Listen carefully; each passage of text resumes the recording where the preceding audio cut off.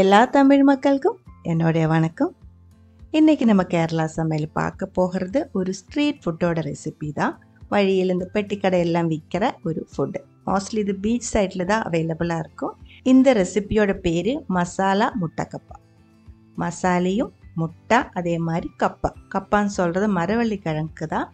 மரவள்ளி சேர்த்து செய்கிற ஒரு ஸ்பெஷல் ரெசிப்பியாக இருக்குது இது நீங்கள் எந்த டைம் வேணாலும் சாப்பிட்டுக்கலாம். மத்தியானம் பசிக்குதா? அப்போ வேணால் செஞ்சு சாப்பிட்டுக்கலாம். ஈவினிங் ஸ்நாக் டைமில் டீ டைமில் சாப்பிட்டுக்கலாம். அதே மாதிரி உங்களுக்கு எப்போ தோணுதோ அப்போ சாப்பிட முடியற ஒரு ரெசிபியாக இருக்குது எப்படி பண்ணலான்னு பார்த்துட்டு வரலாம். மூணு பேருக்கு அவரேஜாக சாப்பிட்ற அளவுக்கு தான் இன்றைக்கி நான் செய்கிறது அதுக்காக முக்கால் கிலோ அளவுக்கு இருக்கிற ஒரு பெரிய மரவள்ளி கிழங்கு நான் இங்கே எடுத்திருக்கு.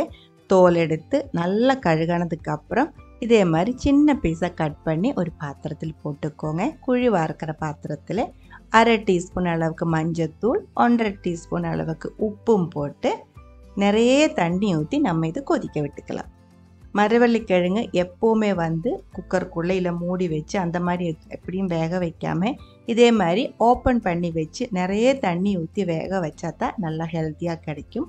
இதுக்கு முன்னாடி நிறைய டைம் நான் சொல்லியிருந்தேன். நீங்கள் அதே மாதிரி நிறைய தண்ணி ஊற்றிட்டு கொதிக்க விட்டுக்கோங்க. கொஞ்சம் நேரத்துக்குள்ளே இது நல்லா வெந்து கிடச்சிடும்.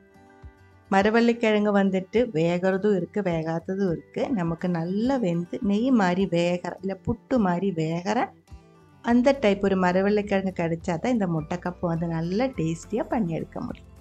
இல்லைன்னு தான் நம்ம அதை மேஷ் பண்ணுறதுக்கு ரொம்ப டைம் ஆகும். பாருங்கள் இது இப்போ நல்லா வெந்திருக்கு. இனி இது வடிகட்டி எடுத்துக்கோங்க. தண்ணி நமக்கு தேவையில்லை தண்ணி கொட்டிடுவேன். மரவள்ளிக்கிழங்கு மட்டும் ஒரு பாத்திரத்து இதே மாதிரி எடுத்து போட்டுக்கோங்க. இல்லை இருந்தால் ஒன்றா வடிகட்டி எடுத்தாலும் போதும். அடுத்தது மசாலா ரெடி பண்ணி எடுத்துக்கலாம். அதுக்காக ரெண்டு பெரிய சைஸ் வெங்காயம் சின்ன பீஸாக கட் பண்ணி எடுத்து வச்சுக்கோங்க. கூடவே முக்கால் கிலோ அளவுக்கு மரவள்ளிக்கிழங்குக்கு அஞ்சு முட்டை நயங்கி எடுத்து வச்சுருக்கு. முட்டையோட அளவு எப்படின்னா அரை கிலோ அளவு மரவள்ளிக்கிழங்கு செய்யறதுக்கு மினிமம் நாலு முட்டை தேவைப்படுது. ஒரு முட்டை அதிகமாக இருந்தாலும் பரவாயில்ல. ஆனால் முட்டையோட அளவு வந்து கம்மியாகி போகக்கூடாது. நம்ம இப்போ முக்கால் கிலோ இருக்கிறதுனால அதுக்கு அஞ்சு முட்டை எடுத்துருக்கு. ஆறு முட்டை கூட நீங்கள் வேணால் எடுத்துக்கலாம். ஆனால் நான் இப்போ எடுத்த முட்டை கொஞ்சம் பெரிய முட்டையாக இருக்கிறதுனால அஞ்சு முட்டை எடுத்துருக்கு. புரிஞ்சிருச்சுன்னு நினைக்கிறேன். நீங்கள் இப்போது அரை கிலோ அளவுக்கு மரவள்ளிக்கிழங்கு தான் எடுக்கிற அப்படின்னா இதே அளவுக்கு மசாலா ரெடி பண்ணிக்கோங்க. கரெக்டாக இருக்கும். அரை கிலோயிலிருந்து முக்கால் கிலோ கப்பை வரைக்கும் இதே அளவுக்கு மசாலா எடுத்துக்கலாம். ஒரு கிலோ மரவள்ளிக்கிழங்கில் தான் செய்கிறேன் அப்படின்னா நம்ம இப்போ மசாலா செய்கிறதுக்காக எடுத்துருக்கிற இந்த எல்லா இன்க்ரீடியன்ஸுமே முட்டை வெங்காயம் அது இதுக்குள்ளே சேர்க்கிற மசாலா எல்லாமே கொஞ்சம் அதிகமாக எடுத்துக்கோங்க. குழி வறுக்கிற ஒரு கட்டியாக இருக்கிற ஒரு கடாய் சூடு பண்ணிக்கோங்க. அதுக்கப்புறம் அதில் ரெண்டு டேபிள் ஸ்பூன் அளவுக்கு தேங்காய் எண்ணெய் ஊட்டியிருக்கு. எண்ணெய் நல்லா சூடானதுக்கப்புறம் முட்டை அதுக்குள்ளே போட்டிருக்கு. அதுக்கப்புறம் அரை டீஸ்பூன் அளவுக்கு பெப்பர் பவுடர் கொஞ்சம் உப்பு. அரை டீஸ்பூன்லேருந்து ரொம்ப கம்மியாக உப்பும் சேர்த்துருக்கு. தீ ஒரு மீடியம் ஹை ஃப்ளேமில் வச்சதுக்கப்புறம் நல்லா கலக்கி விட்டு இது வந்து நல்ல பொரியல் மாதிரி பண்ணி எடுத்துக்கோங்க முட்டை ரொம்ப ட்ரை ஆகி போகாமல் கொஞ்சம் சாஃப்டாகவே இதே மாதிரி பொரியல் பண்ணி எடுத்துக்கோங்க. இதுக்காக கொஞ்சம் கட்டியாக இருக்கிற ஒரு பாத்திரம் எடுத்திருந்தா ரொம்ப நல்லாயிருக்கும் இதில் நம்ம நிறைய மிக்ஸ் பண்ண வேண்டியிருக்கு நிறைய மேஷ் பண்ண வேண்டியது இருக்குது அதனால குவாலிட்டியாக இருக்கிற நல்லா கட்டியாக இருக்கிற ஒரு பாத்திரம் எடுக்கிறது நல்லாயிருக்கும் நான்ஸ்டிக் மேக்ஸிமம் அவாய்ட் பண்ணிக்கோங்க.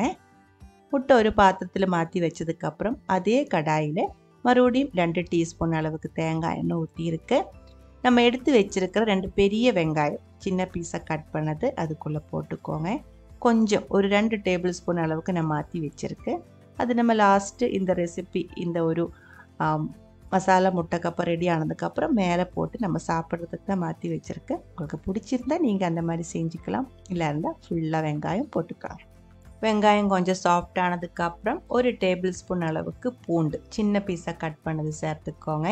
காரத்துக்கு தகுந்த மாதிரி ரெண்டு பச்சை மிளகாய் சின்ன பீஸாக கட் பண்ணி சேர்த்துக்கோங்க. நம்ம இப்போ வதக்கும் போது தீ கம்மி பண்ணி வச்சு தான் வ வதக்கணும். இல்லை இருந்தால் இது வந்து ரொம்ப ட்ரை ஆகி போயிடும். அந்த மாதிரி ஆகி போகக்கூடாது. அதோட பச்சை ஸ்மெல் போனால் மட்டும் போதும். கொஞ்சம் உப்பு கூட இதில் சேர்த்து சேர்த்துக்கோங்க இப்போது மரவள்ளிக்கிழங்கு வேக வைக்கும்போது நம்ம உப்பு சேர்த்து தான் வேக வச்சுருக்கு. அதனால இதுக்கு இந்த மசாலைக்கான உப்பு மட்டும் இப்போ சேர்த்தா போதும். முட்டைக்கும் நம்ம உப்பு தனி சேர்த்துருக்கு. மசாலா ஒன்று ஒன்றா போட ஆரம்பிச்சுக்கலாம். கால் டீஸ்பூன் அளவுக்கு மஞ்சத்தூள் ஒரு டீஸ்பூன் அளவுக்கு கொத்தமல்லி பவுடர் ஒரு டீஸ்பூன் அளவுக்கு காரமாக இருக்கிற வரமிளகாய் பவுடர் ஒரு டீஸ்பூன் அளவுக்கு இடித்த சோம்பு. இதுவும் சேர்த்து நல்லா வதக்கிக்கோங்க. தீ கம்மி பண்ணி வச்சுக்கோங்க. கருகி போய் கருகி போகக்கூடாது. நல்லா வதக்கினதுக்கு அப்புறம் அரை டீஸ்பூன் அளவுக்கு பெப்பர் பவுடர் கூடி நான் சேர்த்துருக்கேன். நல்லா மிக்ஸ் பண்ணதுக்கு அப்புறம் அரை கப் அளவுக்கு தண்ணி இதில் ஊற்றிடலாம் தண்ணி ஊற்றுறது எதுக்கு அப்படின்னா நம்மளோட மசாலா வந்து ட்ரையாக இருந்தால் நம்ம வேக வச்சு எடுத்து வச்சிருக்கிற மரவள்ளிக்கிழங்கும் ட்ரையாக இருக்குது எடுத்து வச்சிருக்கிற முட்டையும் ட்ரையாக இருக்குது எல்லாமே ட்ரையாக இருந்தால் சாப்பிடும்போது ரொம்ப கட்டியாக தோணும். அதனால நம்ம மசாலா முட்டை கப்பை நல்லா பஞ்சு மாதிரி சாஃப்டாக இருக்கிறதுக்காக தான் இதுக்கு தகுந்த மாதிரி மசாலையில் தண்ணி ஊற்றிருக்கு அரை கப் அளவுக்கு ஊற்றியிருக்கு நல்லா கொதித்து இதே மாதிரி கொஞ்சம் திக்காக வந்ததுக்கு அப்புறம் நம்ம வேக வச்சு எடுத்து வச்சிருக்கிற மரவள்ளிக்கிழங்கு. இதுக்குள்ளே போட்டுக்கோங்க. தீ கம்மி பண்ணி வச்சுக்கோங்க. மரவள்ளிக்கிழங்கம் போட்டு ஃப்ரெஷ்ஷாக இருக்கிற கறிவேப்பிலை நிறைய போட்டுக்கோங்க. நல்ல மணமாக இருக்கும்.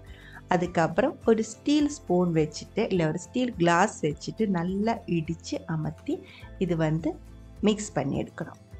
இது ரொம்ப இம்பார்ட்டண்ட்டாக இருக்குது இந்த மிக்ஸிங்கு இப்போ மரவள்ளிக்கிழங்கெல்லாமே ஒரு பெரிய பெரிய பீஸாக தான் இருக்குது ஆனால் அது நல்லா வெந்து சாஃப்டாக இருக்குது நம்ம ஸ்பூன் வச்சு அமர்த்தினாலே நல்லா இதை உடச்செடுக்க முடியும். தயிரெல்லாம் கடையிற கோல் இருக்குல்ல மற்ற அதுக்கு என்ன சொல்லுவாங்க?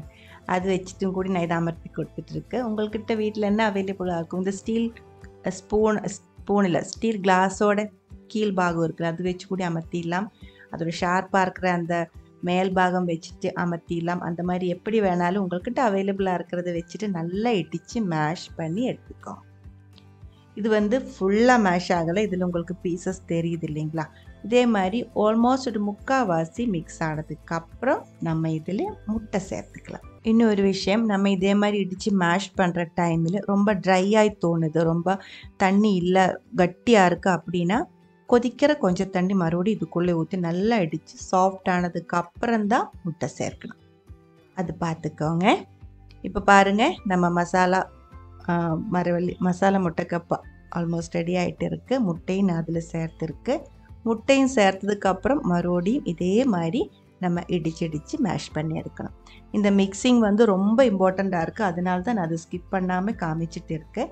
இந்த முட்டை சேர்த்ததுக்கு அப்புறம் நல்லா இடித்து மிக்ஸ் பண்ணணும். மரவள்ளிக்கிழங்கு தனியாக தெரியக்கூடாது. முட்டை தனியாக மரவள்ளிக்கிழங்கு தனியாக இதில் சேர்த்துருக்கிற மசாலா தனியாக இருக்கும்போது நல்லா இருக்காது. சாப்பிட்றதுக்கு பார்க்குறதுக்கும் நல்லா இருக்காது. அதனால எல்லாமே மிக்ஸ் பண்ணி ஒரு டிஷ்ஷாக மாற்றிடணும் புரிஞ்சிருச்சுன்னு நினைக்கிறேன். எனக்கு மு முடிகிற அளவுக்கு தான் நான் சொல்லிட்டு இருக்கேன். பாருங்கள் சூடாக இருக்கிற மசாலா முட்டைக்கப்பா ரெடியாக இருக்குது சைட் டிஷ் எதுவுமே தேவையில்லை. மேலே கொஞ்சம் வெங்காயம் கொடி போட்டு இப்படியே சாப்பிட்டுக்கலாம். பிடிச்சிருந்தா ட்ரை பண்ணி பாருங்கள் அதுக்கப்புறம் உங்களோட கமெண்ட்ஸ் எல்லாம் சொல்லிடுங்க. இந்த சமையல் பிடிக்கிற ஃப்ரெண்ட்ஸுக்கு மறக்காமல் ஷேர் பண்ணி விட்டுக்கோங்க. நீங்கள் இதுவரைக்கும் நம்ம சேனலுக்கு கொடுத்துட்ருக்கிற சப்போர்ட்டுக்கு ரொம்ப ரொம்ப நன்றி.